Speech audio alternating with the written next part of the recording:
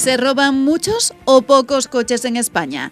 Esa es la gran pregunta que nos hacemos en CDRAS y para responder tiramos de las estadísticas que nos ofrecen las compañías de seguros.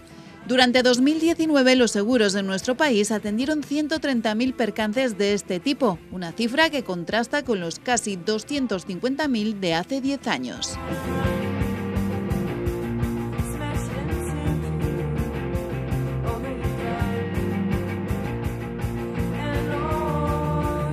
Aunque se siguen robando muchos vehículos, lo cierto es que los percances que las aseguradoras pagan por robos de y en vehículos son cada vez menores. Los lugares de España con más probabilidad de sufrir un robo de coches son la provincia de Sevilla, seguida de Madrid y Huelva.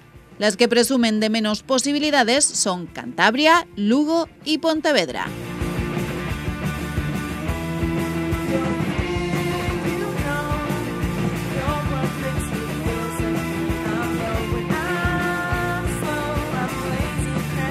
Por tipo de modelo, los coches que más se roban en nuestro país son el Seat Ibiza, el Seat León y el Volkswagen Golf.